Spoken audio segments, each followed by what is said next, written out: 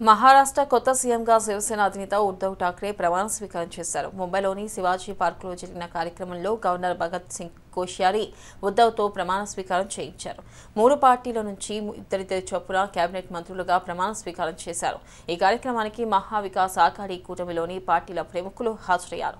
శివసేన కార్యకర్తలు అభిమానులు తదితర నేతలు హర్షధ్వానాల మధ్య ఆయన ప్రమాణ స్వీకారం చేశారు. ఈ సందర్భంగా ఉద్దవ్ను గవర్నర్ అభినందించారు